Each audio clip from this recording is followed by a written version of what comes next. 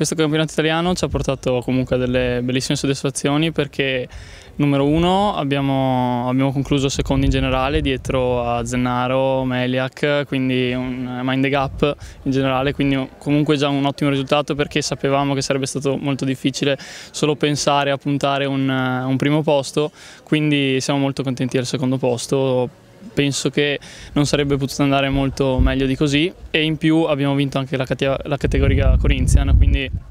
quello che potevamo fare l'abbiamo fatto e siamo contenti dei risultati. Dedico questa vittoria al nostro equipaggio che continua a crescere col tempo e continuerà, spero, a portare grandi soddisfazioni.